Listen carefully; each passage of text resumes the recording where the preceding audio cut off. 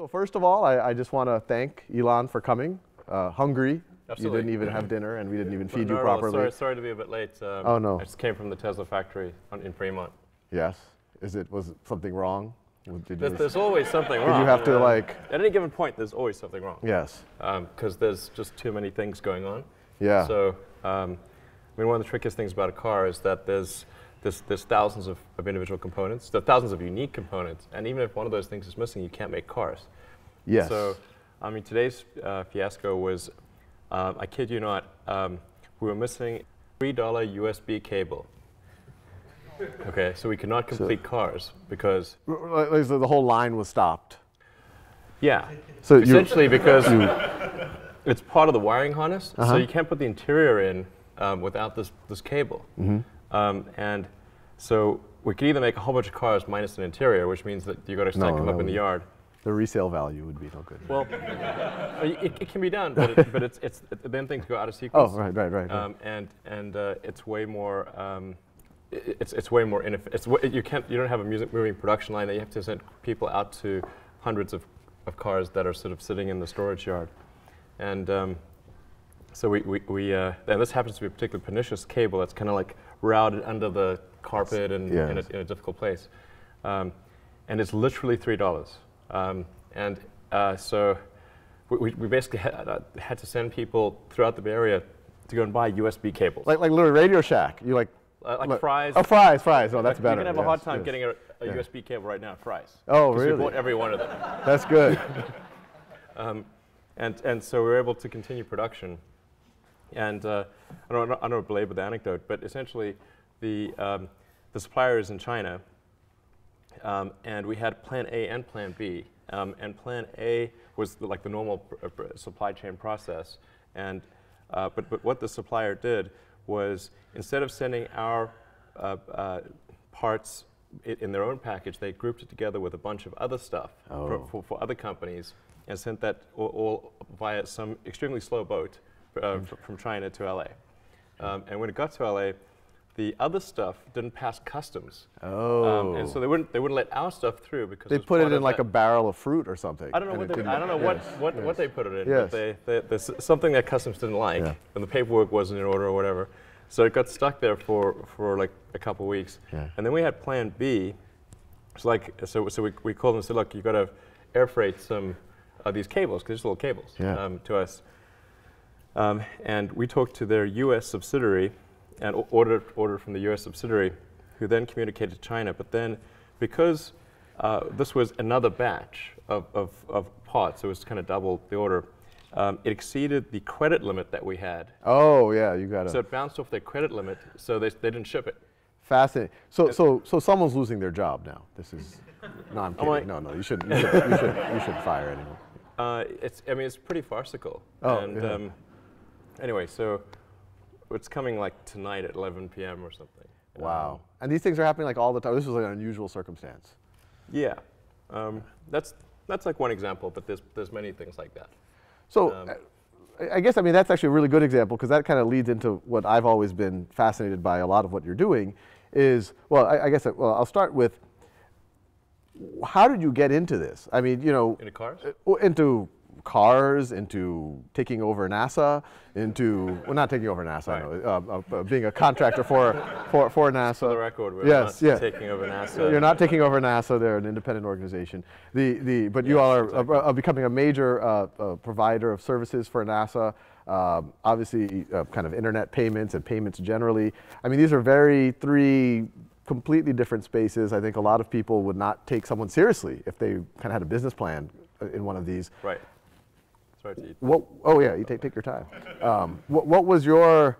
I, I mean, were, did you always think you were going to be doing this, or when did it dawn on you that, that you would try to revolutionize three industries? Well, um, when I was in college, I, I didn't actually expect to do it. So it was not like this is some long fulfilled expectation.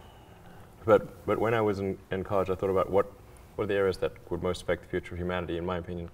Um, and the three areas were the internet, sustainable energy, and space exploration, particularly if humanity becomes a multi-planet species. You know, there's kind of like a pretty substantial bifurcation in our sort of future if we're either uh, out there among the stars on multiple planets, or if we're confined to Earth until some obviously eventual extinction event. Yeah. Um, not that I'm pessimistic about life on Earth. I mean, I think some things are likely to be good. But even more Ye- likely to be good yeah. by far. Yellowstone's due for an explosion every hundred, several Right, hundred thousand. exactly. Shantanu knows about that. Shantanu, yeah, yeah. Every, every, every, it's been 700,000 since. Right. Yeah. Right. But yeah, Yeah. I super mean- volcano, for those of you who don't know, it would envelop the, well, sorry. Yeah. No. Exactly. Yeah. I know Yeah. exactly what you're talking Yeah. about. Exactly. So. So. We read I mean- the same books, I can Right. tell. Yeah. Absolutely. Um, I mean, something bad is, is bound to happen if you give if you give it enough time. Um, and civilization has been around for such a very short period of time that um, you know th- these these timescales seem like very long, but on a evolutionary timescale they're very short. Yeah. Um, you know, a million years on evolutionary timescale is, is really not much. Um, and you know, Earth's been around for four and a half billion years. Yeah. So that's you know a very tiny, tiny amount of time, really. But for us, that would be. I mean, can you imagine if if uh, human civilization continued at anything remotely like the current pace of technology advancement for a million years? Where would we be? Yeah. I mean, I mean, I think we're either extinct or on a lot of planets. Yes, we should.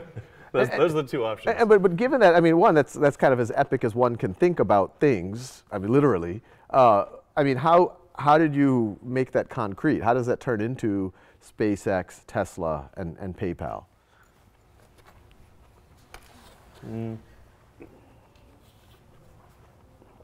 Well, so I thought about those these things kind of in the abstract, um, not not from the expectation that I would actually have careers in those arenas, but um, but I, I wanted to be involved in at least one of them.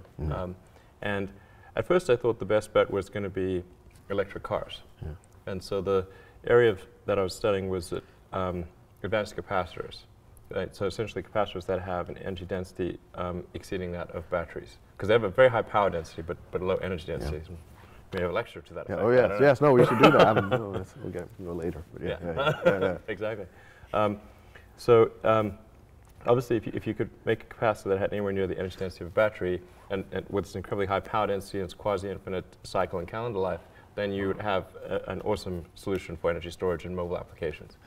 Um, so that, that I was going to sort of work on that and try to uh, leverage um, the equipment that was developed for advanced chip making and photonics uh, to um, create um, uh, ultra precise capacitors at sort of at the molecular And this is when you were going to go into Um, grad school? yeah, You, you, you, exactly. you had a brief stint at Stanford That's right. Yeah. at, at a PhD in applied physics? Uh, applied physics, material science. Right. yeah, This is and- what you were, material so even then you were thinking of kind of trying to do exactly. something in the space. Well, uh, well, actually, this was yeah, this was to, to work on energy storage solutions for electric cars. yeah. Um, and, um, and I'd actually worked at a company in Silicon Valley called Pinnacle Research, which did advanced um, capacitors. There, were, they were um, electrolytic uh, ca- capacitors, sort of, um, and uh, th- but the problem, and, and they actually were pretty good. They had like the energy density of a lead acid battery, um, which for a capacitor is that's a big deal. Um, but they used uh, ruthenium tantalum uh, oxide, and there's a, oh, I think at the time there was maybe like one or two tons of ruthenium mined per year in the I world. see. So it's not a scalable solution. Um, but there, I thought there could be some solid state solution, like just like you know, say using chip making equipment. That was going to be the basic idea. But it was one of those things where I wasn't sure if success was one of the possible outcomes.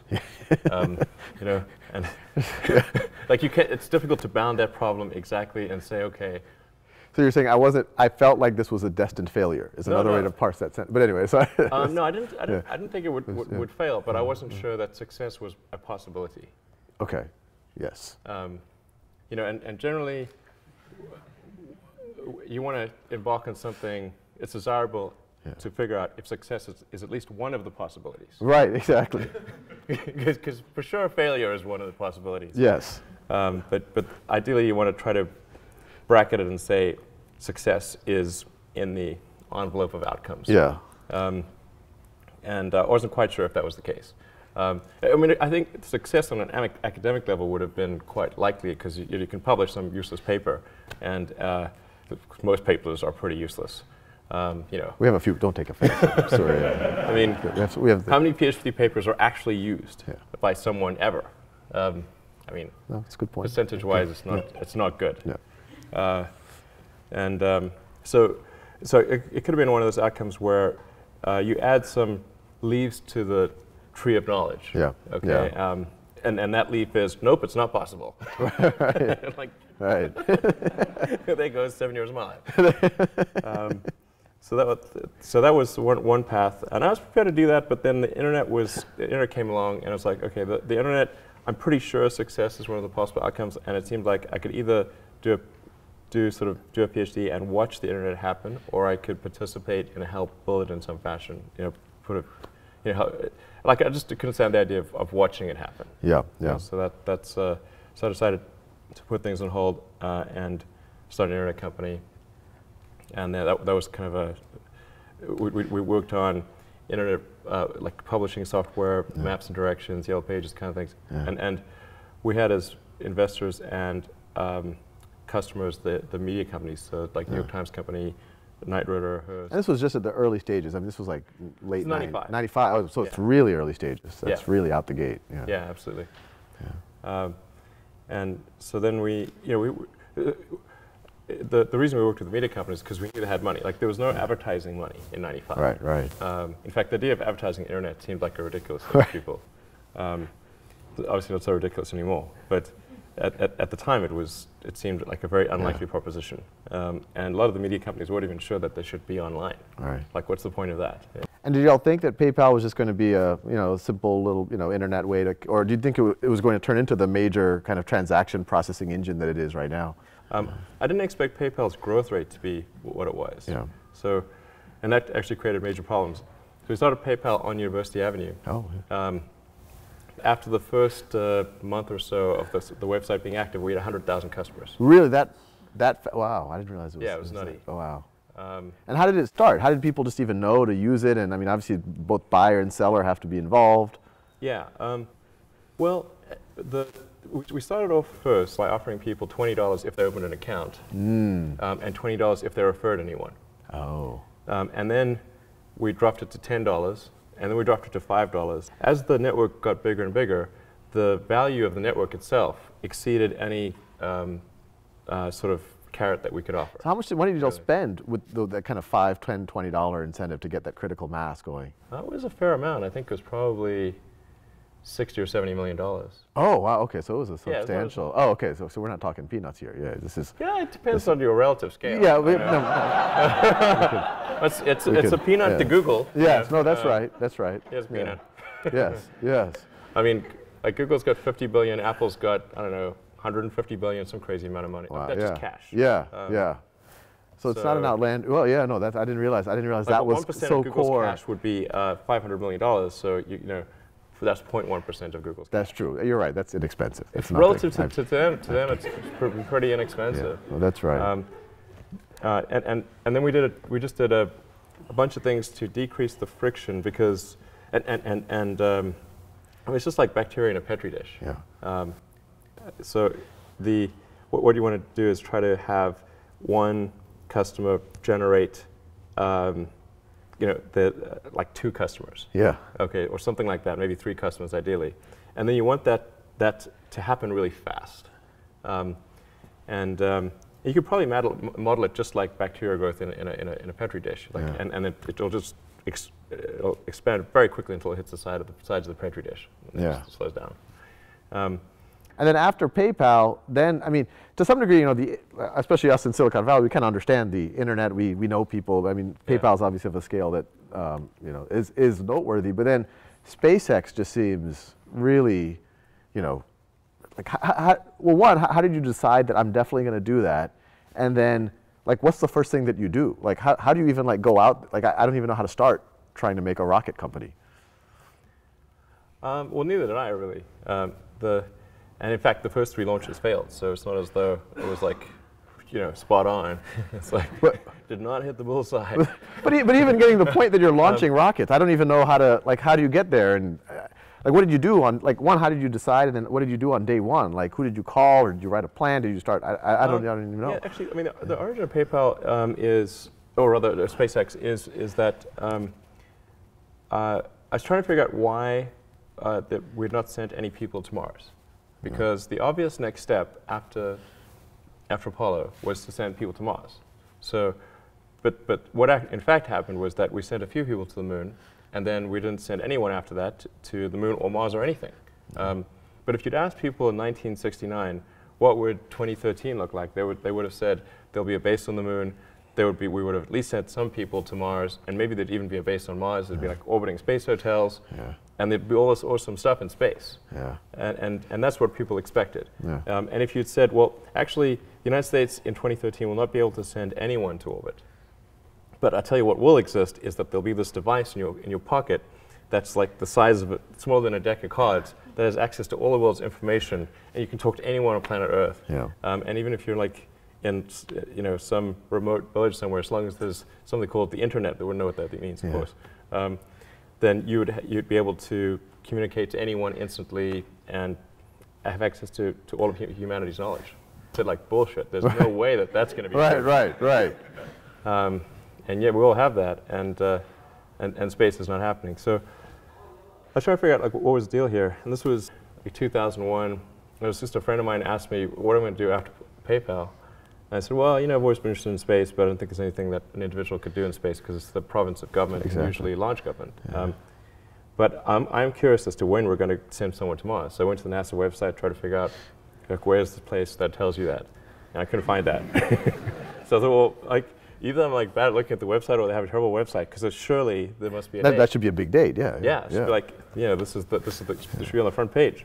And then I discovered actually that uh, NASA had no plans to send people to Mars and or even really back to the moon. Yeah. Um, so this, so uh, this was really disappointing. I, I thought, well, maybe this is a question of uh, uh, national will. Like, have have do we do we need to get people excited about space again, and and try to get NASA a bigger budget, and then that then then we would send people to Mars, and and so I uh, started researching the area, um, becoming more familiar with space, reading lots of books, and uh, came up with this idea to do something called Mars Oasis, which was to send a small greenhouse uh, it- with seeds and dehydrated gel. That land upon landing, you hydrate the gel. You have green plants on a red background, and the, the public is uh, the public responds to precedents and superlatives. Yeah. So it's the, we're the first life on Mars, the furthest that life's ever traveled, and you'd have this money shot of green plants on a red background. Yeah, So that, that, that, that, that seemed like it would get people pretty excited. Um, so that, that I, I started getting into this and, and trying to figure out, okay, well, can I f- afford to build the spacecraft? Because I had some money from as a result of Yeah. PayPal, but it had to fit within that budget. And I figured we had to do two missions because if we, uh, if we only did one and it failed, then it might have like the opposite effect. But you were willing to bet the farm, so to speak, on this. Yeah. Well, um, yeah, I figured like I, would, I was willing to spend half the money that I got from Yeah. PayPal. Yeah. Um, with no expectation of return. Right. Um, because I thought this was just something that was pretty important, and uh, yeah, I'm like, it seemed like I could spend half the money on on PayPal on this, and there'd be if, if that got NASA a bigger budget and resulted in us going to Mars, that would be a good, pretty good outcome. And, and when your friends came or your family came up to you and said, "Look, you know, there's nations that can't do this. You know, you're you're a guy, but you have Yeah. some resources." What did you say or do or think? Well, so um, I, I had a lot of friends of mine try to talk me out of starting a rocket company because they thought it was crazy. And one friend of mine made me watch a video of rockets blowing up. Uh, and you know, there were just lots of people that thought it was a really crazy idea, and there were some people that had tried to start rocket companies, not succeeded, and they, they tried to talk me out of it. And um, but the thing is that the, the premise for talking me out of it was, well, we think you're going to lose the money that you invest. And I was like, well, um, that was my expectation anyway, Right. so I don't really mind if I lose. You know, I mean, I might, but I mean, it's, it's not. It's not like I was trying to figure out the rank ordered best way to invest money, Right. and on that basis, um, you know, chose space. Right. It's not like that's. you know, I thought, wow. You weren't could looking at like huge- money money market bonds, AAA bonds, right, exactly. rocket company. like you weren't like do real yeah, estate. Yeah, I real, could, yeah, uh, yeah, you yeah. know, uh, invest in shoemaking, anything. um, and whoa, space is, is highest ROI. Yeah, know, exactly. that's, that is not what I. That is Yeah. not, not, wasn't the premise. um, I, I just thought that it was important that uh, humanity expand beyond Earth, and we weren't doing that. So maybe there was something I could do to kind of spur spur that on. Um, and then I, um, I, I was able to compress the costs of the spacecraft and everything down to a relatively manageable number, and I got stuck on the rocket. the, the US rockets were way too expensive. I ended up going to Russia, flew to Russia three times to negotiate purchase of a, an ICBM. That I tried to buy two of the biggest ICBMs in the Russian fleet in 2001 and 2002. Um, and I actually ne negotiated. I'll just let that statement stand. I'm not even Yeah. gonna. Um, I, I, I mean, that's. Uh, and, and, and, uh, well, I, I, actually, crazy. I actually have to. Like, who did you call? Like, like no, I mean, I, I, I this You is, open I- the yellow pages. Yeah, I'm, go to I'm in the market. ICBMs. Like, I Oh. mean, how does this? I mean, I don't want to get too much in the weeds, but I am curious. Just this one particular thing. You are you decided at some point you need to buy an ICBM. yeah. Well, actually, at first I tried to buy just a normal ro- launch vehicle that they used to launch satellites. but Right. Those were too expensive.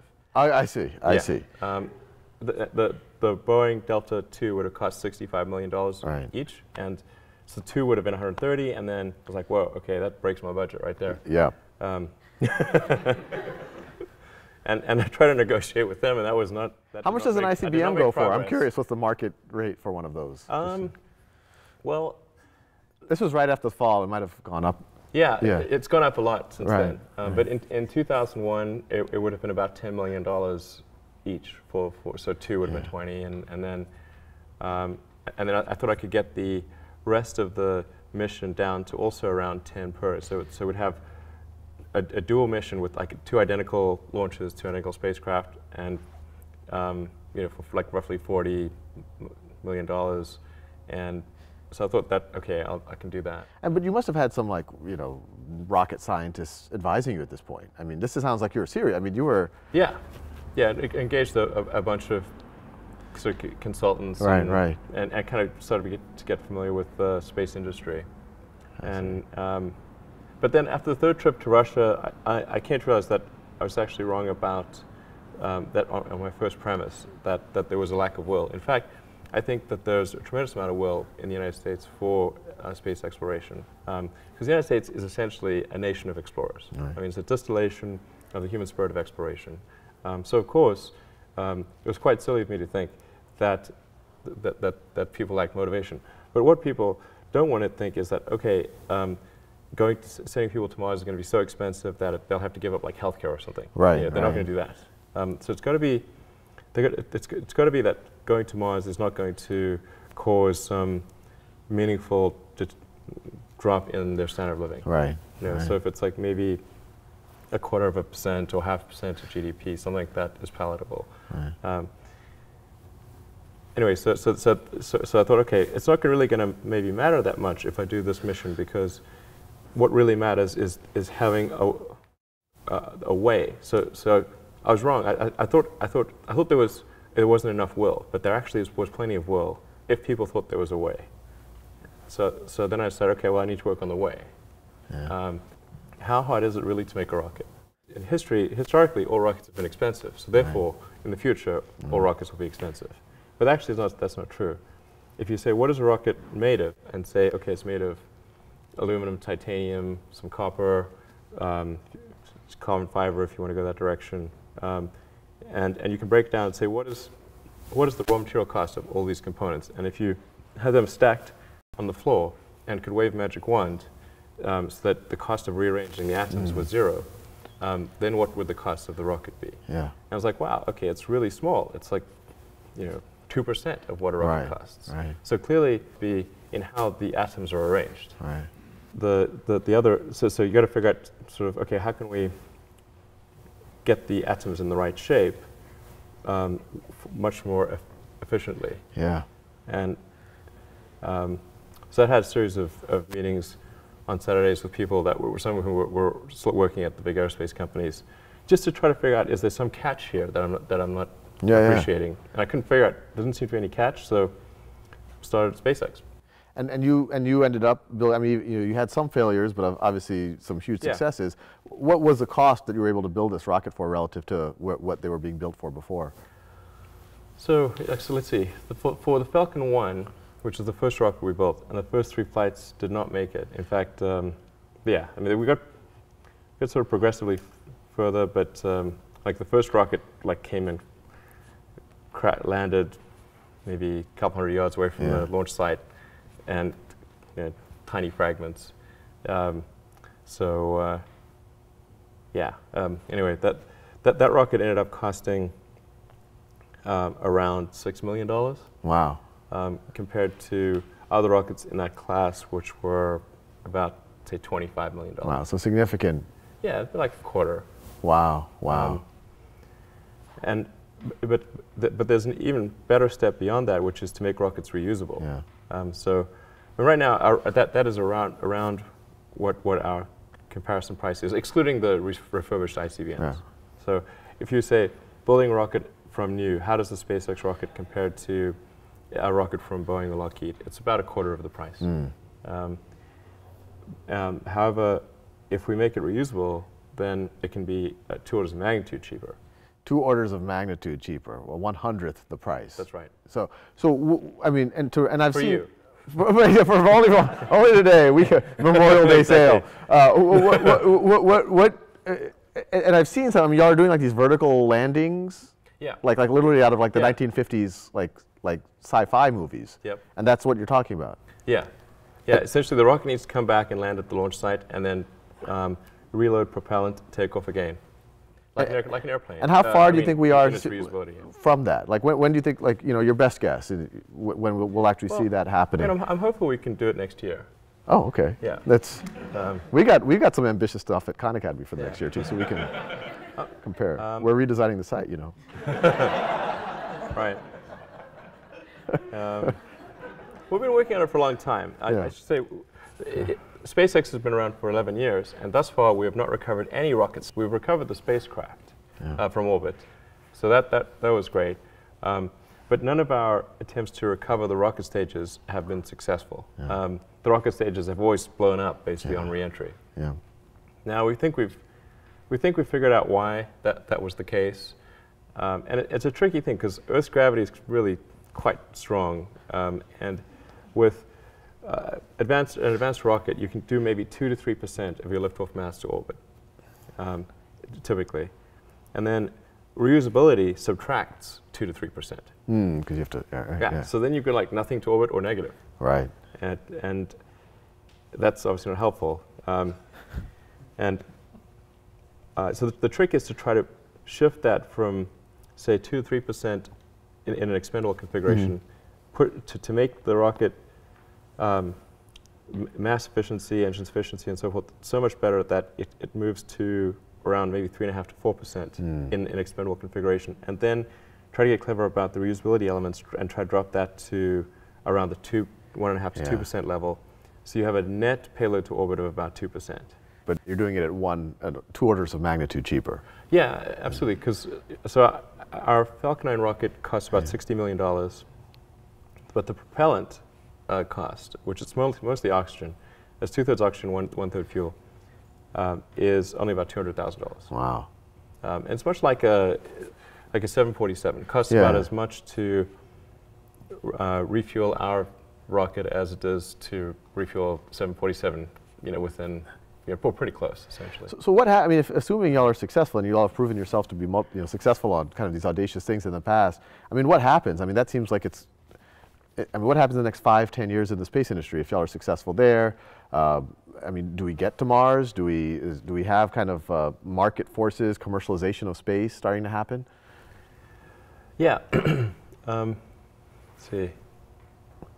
Well, the, the first step is that we need to earn enough money to keep going as a company. So we have to make sure that we're launching satellites, uh, you know, commercial uh, satellites like um, uh, broadcast communications, Yeah. mapping, um, and government satellites that do scientific missions, uh, Earth-based or, or, or space-based missions, GPS satellites, that kind of thing. Um, and, and then also servicing the space station, tr- transferring cargo to and from the space station, which we've done a few times, and, and then taking people to and from the space station. So, so we've got to we've got to service the sort of needs, um, Earth-based needs to launch satellites, and that, that pays the bills. Yeah. But, but in doing that, keep improving the technology to the point where uh, we, we can make full reusability work, and we have sufficient scale and sophistication to be able to take people to Mars. Wow. And so you think this is going to be a reality? What, what, what's your best guess of when we're going to have someone on Mars? I think I think probably about 12 years. uh, yeah. 12, that's, that's Give or nothing. take two And, and you think it'll be a round trip? It'll, it'll be, Yeah. it'll, it won't just be a, some type of permanent colony on, on Mars. Yeah. I, I think it's probably a round trip. Wow. so, so for, for, I mean, it's not for sure. I, I uh, could, I could talk about this for, I mean, the people know uh, I'm, So the aspiration will be a round trip. Yeah. No, this, this, this, yeah, this is mind blowing. And I mean, and then on Tesla, I- I, mean, Tesla is obviously, I mean, from, from our, from my vantage, it's a huge success. I mean, it's, I mean, what do you think is, is in, in that industry? Well, well, one, I mean, I'll ask kind of the same question. What did you think? You, you know, this is something that GM and Toyota and these massive multi-billion dollar organizations Yeah. have been trying. You know, what gave you the confidence to kind of pursue it? And, and now that it, it seems to be a, a huge success, where, where do you think this industry is going to be in the next five, ten years? Um, yeah, so with, with Tesla, the goal is to try to accelerate the advent of sustainable transport. Um, I think it would happen anyway, 'cause just out of necessity. But um, because we have an unpriced externality in the cost of gasoline, um, we weren't pricing in the environmental effects of CO2 in the oceans and atmosphere. Uh, that, that's causing um, the, norm- the normal market forces to not function properly. And so the goal of Tesla is to uh, try to act as a catalyst to accelerate um, th- those sort of normal forces, the, the, the normal sort of market reaction that would, would occur. Um, we're trying to have a catalytic effect on that Yeah. and, and try to make it happen, I don't know, maybe 10 years sooner than it would otherwise occur. Yeah. Uh, that's, that's, that's the goal of, of, of Tesla. So that's the reason we're making electric cars and not any other kind of car. And we also ha- supply powertrains to Toyota and to Mercedes and, and maybe to other ca- car companies in the future to um, accelerate their um, uh, production of electric vehicles. So, so, that, so that, that's, the, that's the sort of goal there. And- so far, it's you know, working out pretty well. I mean, I just saw a news report earlier today that y'all are sold more Model S's than uh, are leading that segment of, of the industry. That the Mercedes S Class, the BMW 7 Series, or the the Lexus uh, Right. LS 400 or whatever it is. Uh, yeah, actually, that, that seems to be the case. Um, and it's, uh, yeah, I, I didn't realize they sold so few cars in that segment. That's Um, we don't sell that many cars. Right, we sell right. 5,000 Yeah. a quarter, you know, well 20,000. out here they seem like you know every yeah, year, I mean, you it, know, well, like- this is our home, yeah, yeah, yeah. it's our home team, you know. Um, so it's, uh, we, we better sell out in the Bay Area. Yeah, yeah, because yeah, yeah. We're like, we're No, but that's and and, uh, well, I mean, it's a similar thing. I mean, what what? How did you start? What gave you the confidence? And, and I mean, do you, do you see yourselves? I mean, as kind of a major automotive mainstream brand in, in five, ten years, uh, all the way down to kind of the you know the competing with the Honda Accords and Civics. Um, yeah, I mean, I, I I mean, our goal is not uh, just, it's not sort of to become a brand, big brand or to compete with uh, Honda Civics, uh, but rather to advance the cause of electric vehicles.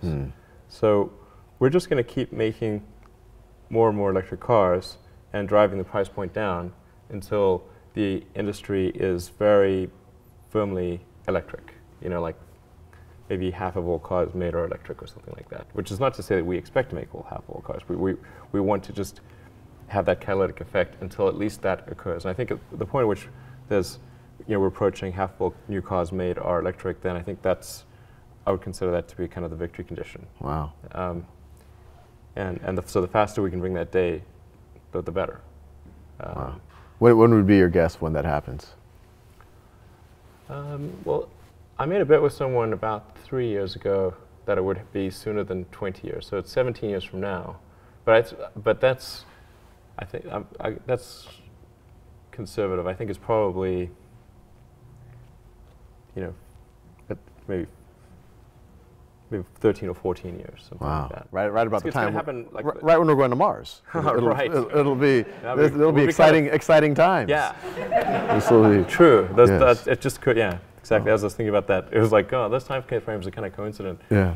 Um, uh, yeah, uh, I mean, the, the nature of, of new technology adoption is it tends to follow an S curve. So, so what usually happens is people underpredict it in the beginning because Yeah. people tend to extrapolate on a straight line, and and then they'll overpredict it kind of at the midpoint, and because there's there's late adopters, Right. and then you know it, it, it'll actually take longer than people think at the midpoint, but much shorter than people think at the beginning. Yeah.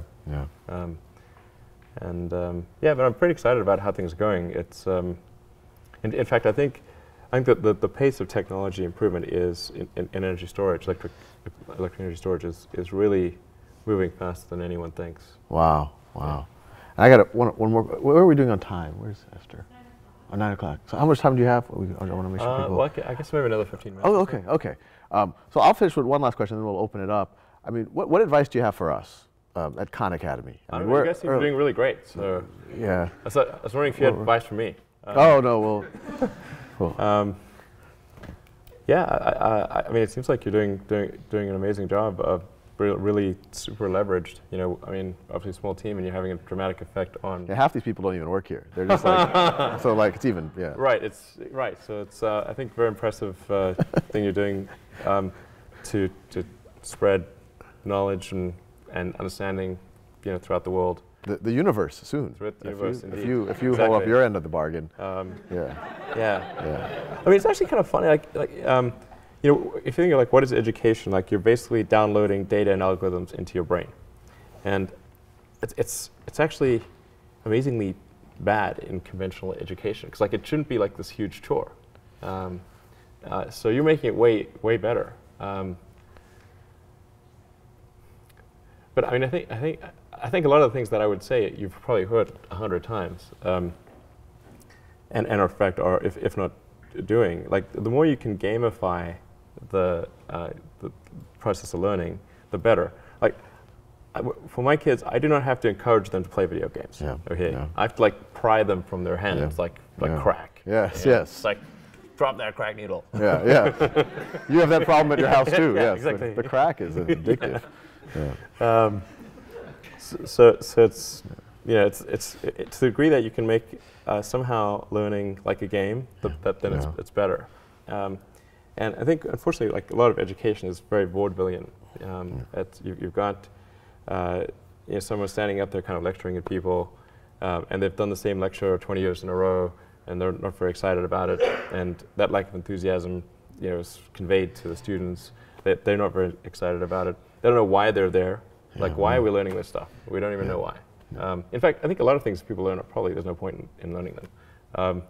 Because they, they never use them in, uh, in the future. Because Um, who's going to launch a rocket into space? I mean, that's just like, Yeah. yeah, exactly. That never happens.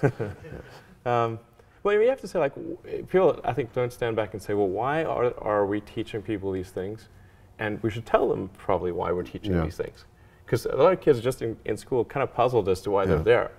Like, yeah. you know, um, and I think if you can explain the why of things, then that makes a huge difference to people's motivation.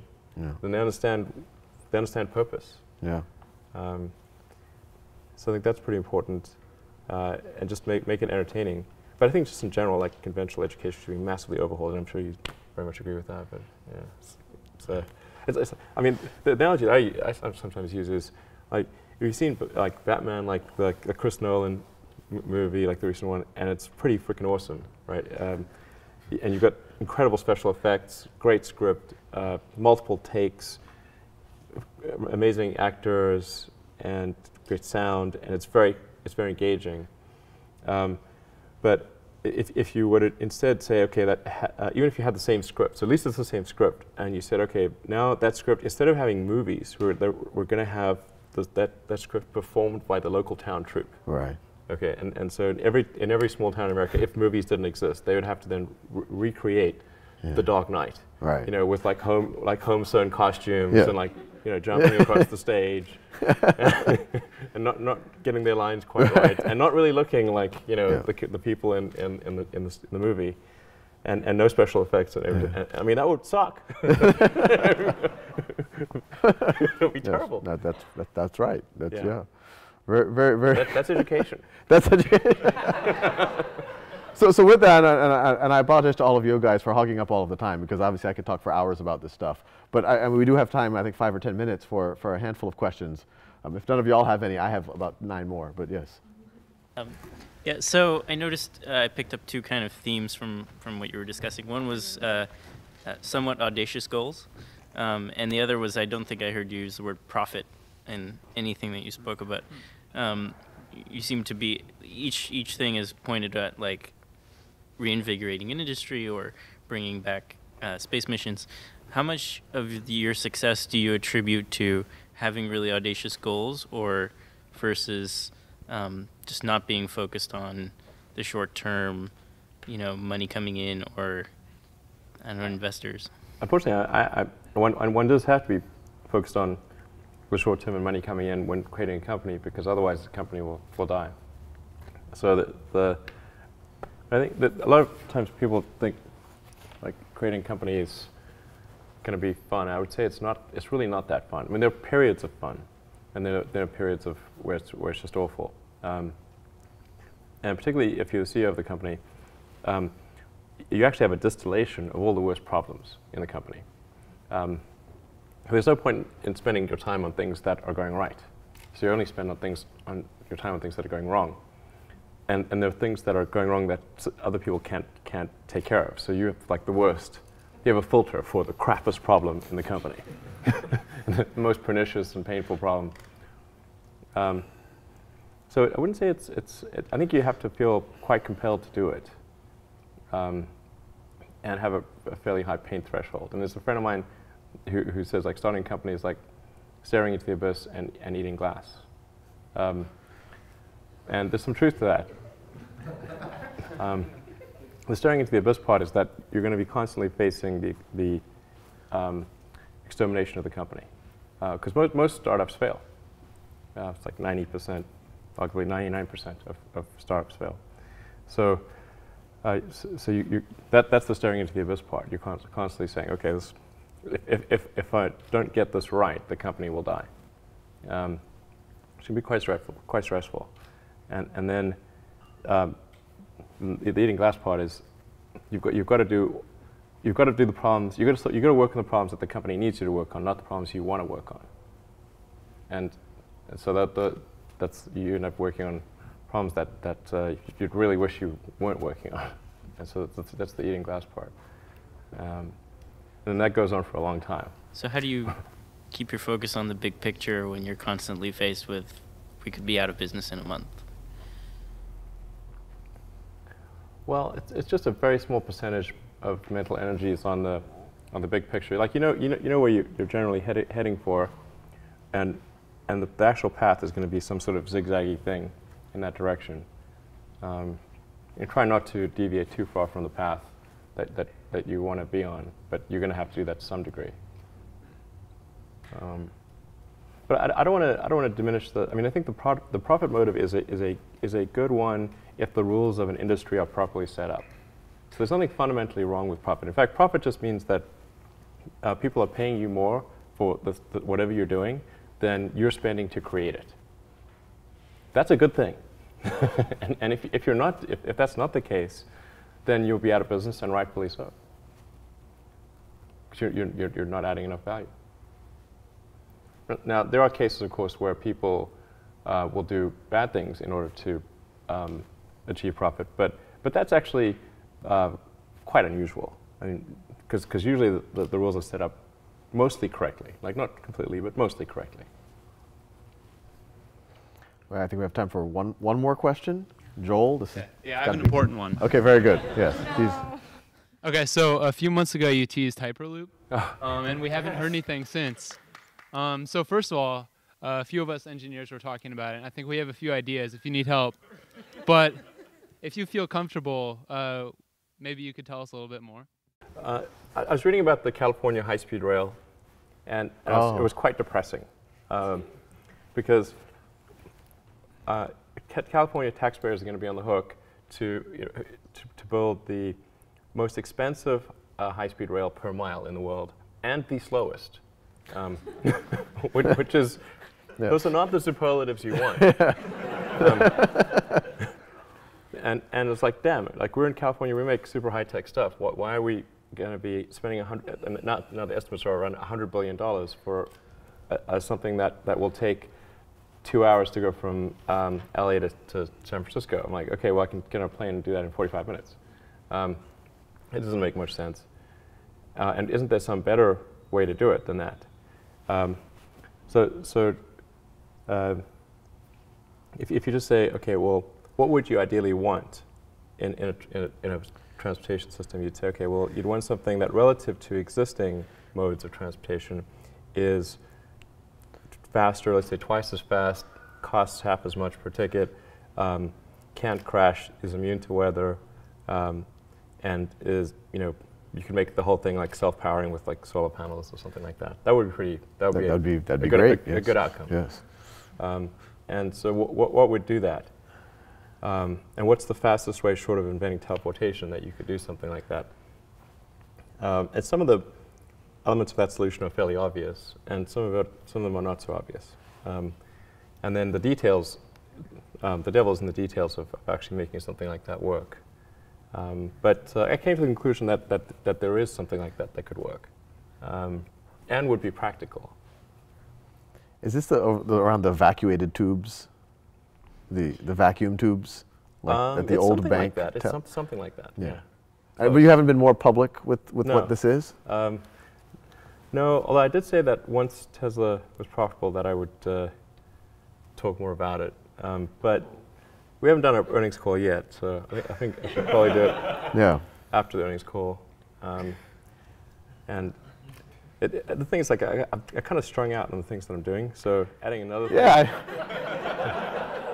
just like doesn't, you know, that's, that's learning the guitar, you could you could Yeah. pick up yeah all sorts of things. Right. I, I tried learning the violin. Yes. That's, by the way, a hard thing to learn. yeah. I mean, launching rockets, electric cars, yeah. revolutionizing transportation. Yeah, that's. Um, I cannot But- play the violin at all. Very horrible. Um, you know, if you think about the future, you want a future that's better than the past. Yeah, And and so if we had something like the Hyperloop, I think that would be like cool. Like you'd look forward to the day that that was working. You know, and and if something like that, even if it was only even if it only was in one place, you know, from LA to San Francisco or New York to DC or something like that, then um, it would be cool enough that it would be like a tourist attraction, it would be Yeah. like a ride or Yeah, something. you know. yeah. So, so even if if um, some of the initial assumptions didn't work out and the economics didn't didn't, didn't work out quite as, as one expected, it would be like cool enough. to be Like, I want to journey that place just to just to ride on that thing. That would be pretty cool. Um, Wow. and so that's I think how if, if you come up with a new technology, it should it should feel like that. You should really Yeah. like if you told it to an objective person, would they look forward to the day that that thing became available? Yeah. And, and be like, you know, it'd be pretty exciting to, to do something like that. Um, or, or an aircraft, like I thought it was really disappointing when the when the Concorde was taken out of Mm. commission and there was no supersonic uh, transport available. Yeah. Um, and of course, the 787 has had some issues. Yeah. Um, so, um, but it's but the thing is, the 787, even in the best case scenario, is only a slightly better version Yeah. of the 777. yeah. Um, and it's like, okay, hmm, you know, not, not that exciting. So, so there, there, uh, this is something that you are working on, and and one day in the it. not too far future, or there's some plans or consultants involved or something.